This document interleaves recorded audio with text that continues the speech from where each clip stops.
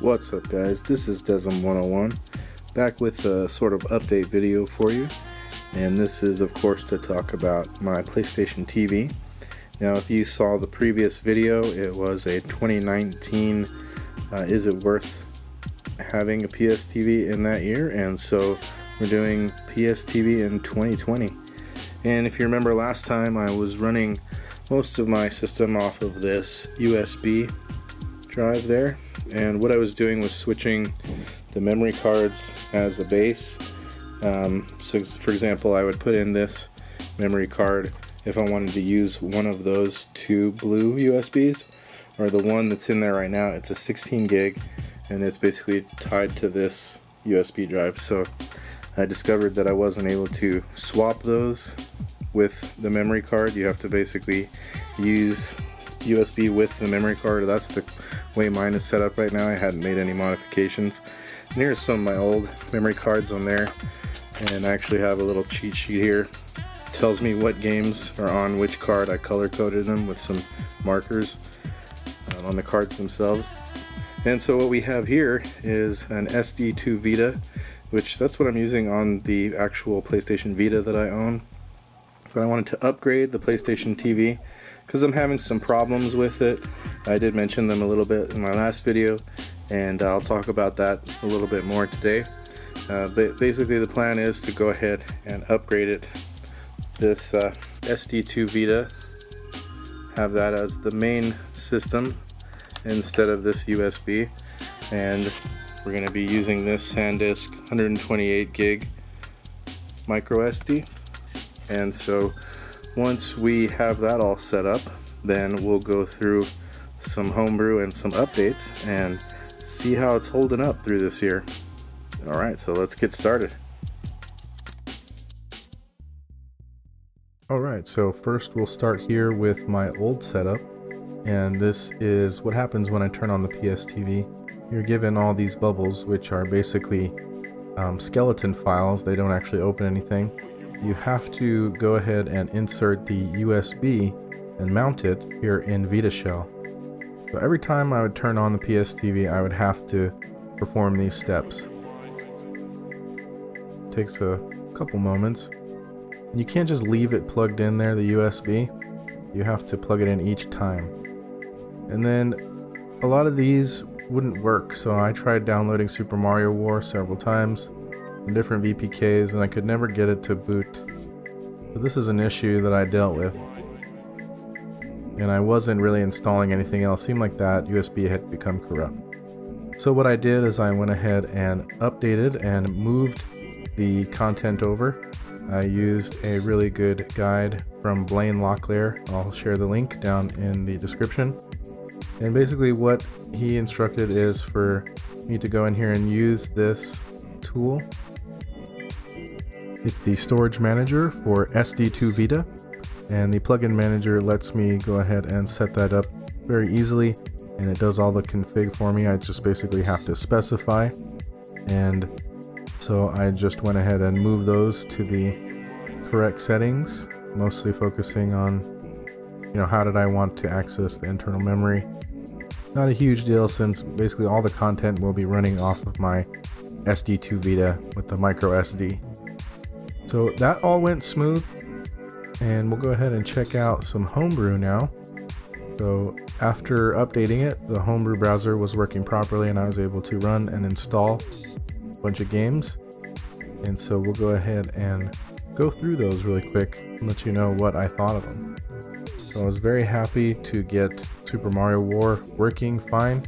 I have it on my PlayStation Vita, but I hadn't been able to get it working on the PlayStation TV until now so that was a big plus for me. And what this is, is a really neat homebrew game that's kind of like a battle royale where you just have to try to jump on each other or attack each other with bombs and um, or from blocks below. It's pretty chaotic and pretty fun. I think you can um, use another plugin to access the four player mode on here. So I recommend checking this game out. I'm really happy to have it working here. This is Tropical Zone from Vita Hex. And this one is still in an early stage, but it looks pretty good so far. You can go ahead and explore this island and cruise around in vehicles in this Jeep.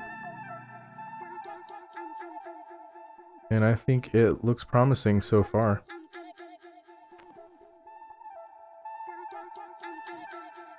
Here is a fun little simple port of River Raid by Lappy, who does quite a few games here on the Homebrew browser. And nothing too crazy or complex about it, very simple game. But I wanted to check it out because I was a fan of the old school River Raid game from Atari by Activision.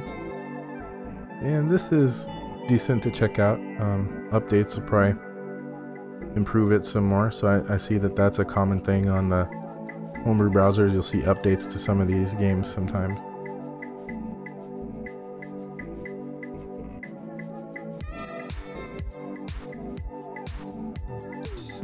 And then up next is Super Console Wars. A pretty impressive game. It has an intro and some really cool music and stuff, some cool little art style to it. But the game is really simple and it's still kind of fun and addictive. It's got kind of like a, a run and gun theme to it and it's really easy to die in these traps that are hard to see in the ground. So what you got to do is just make it through these checkpoints that you see at the bottom and you can get upgraded abilities like upgrade shots and um, power-ups like jumping and stuff like that, double jumping. Pretty cool game. I thought it was pretty funny and I spent quite a bit of time playing it.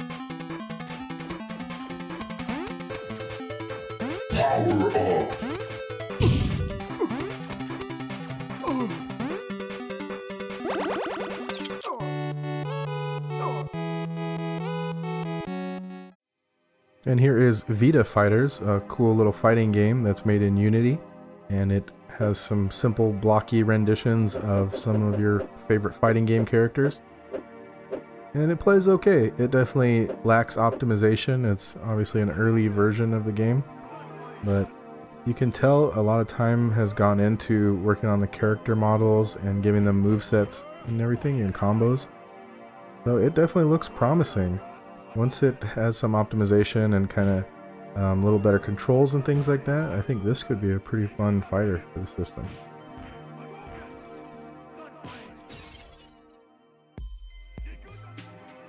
Next one is Dark Paradigm, which is a early first-person shooter, early build.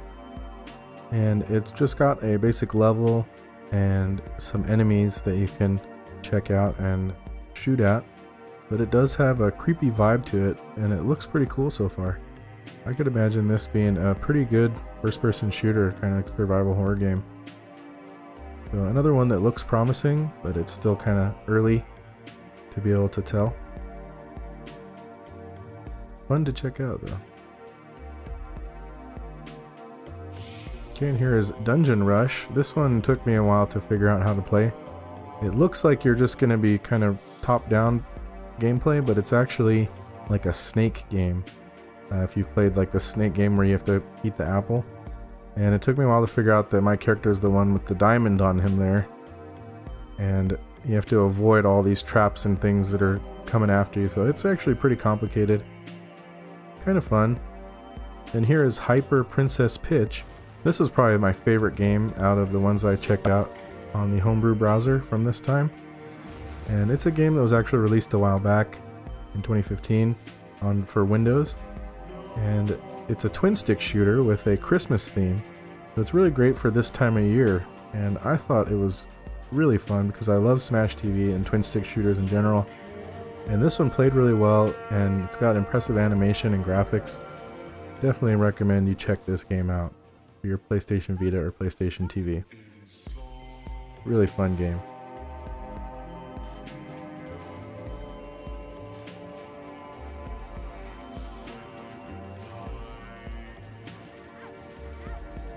So I was having problem running any ports on here, and I think that's because a lot of the ports require source files for the original versions. I hadn't gone into a ton of work to get those going yet, but I'll try that and probably do another update. Here's Destroy. This is a Bomberman clone. Very simple and kind of like an old DOS game. But still, it's pretty cool. If you like Bomberman and these kind of games, old DOS games, you might want to check this one out. I thought it was pretty hard to kill some of these enemies. I spent a while. You know, Bomberman's pretty addictive. And here is a couple launchers, starting with the Hexflow launcher. And it just gives you another option of a UI to use to open your applications. It's pretty stylish. I saw some other ones on there that you can use. And here's another one. It's just called the Vita Launcher. And it goes a bit more comprehensive into your library. It takes a while to load it. But you can see here, you can access just about everything that's in your device. You can see all my PSP games here. And you should be able to launch them. But it might take some extra setup and some extra utilities to get it working right. Make sure you have like the latest versions of Adrenaline and stuff like that.